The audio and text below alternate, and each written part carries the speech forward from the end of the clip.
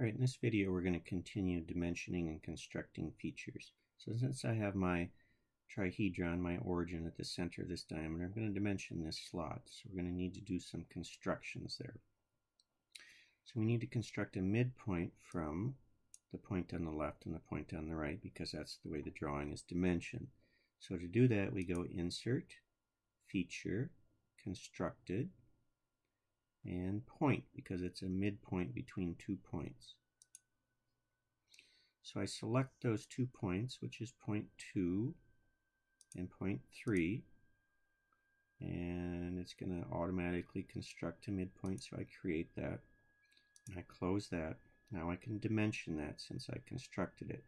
So I go Insert, Dimension, Location.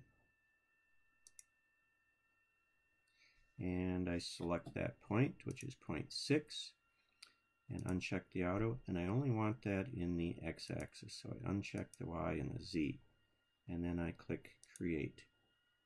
And then I can close this, and now I get my nominal dimension, and I'm going to edit that to the drawing tolerance, which is 1.870.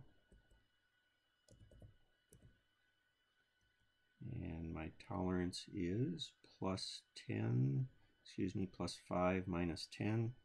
So I enter in 0.005 and tab, go minus 0.01, tab, and now I have that location. I forgot my minus sign again, so that's very important. We get that minus sign so I can just place my cursor there and tab in minus, and then we're okay.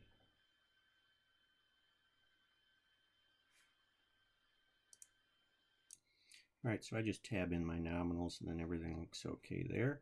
So the next thing I'm going to do is dimension that width. So I go Insert, Dimension, and I'm going to do it as a distance.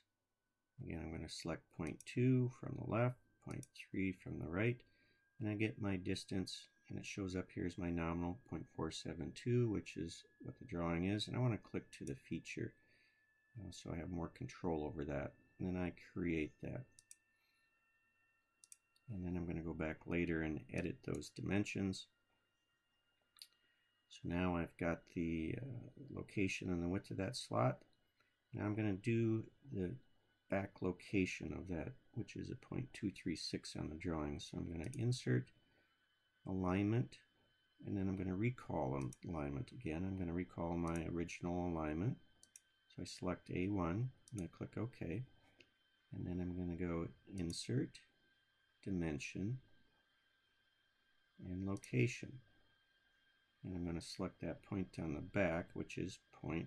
So I select that one, uncheck the auto, and I only want the y-axis because it's going to give me the distance from the origin back, and I click Create.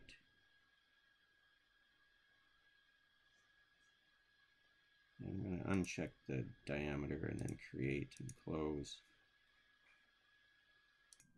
So I click create and close and it reports my dimension, that distance from this front surface to the back. I'm going to edit those later. I'm going to do the width of this slot or the distance between that slot. So I go again, insert, dimension, and distance.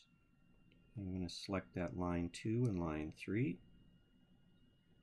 for my list, line 2 and line 3 and I'm going to select it to the feature and you can see how it changes that nominal but I want it perpendicular to each other. And then I click create and close.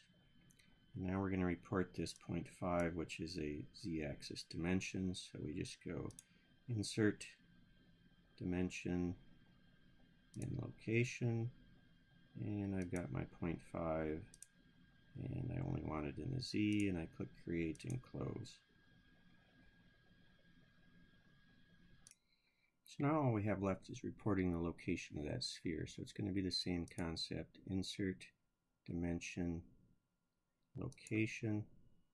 And I click on my sphere. And I want the X and the Y. And the radius. So I check the radius, uncheck the diameter. And I create that and I close and it builds that.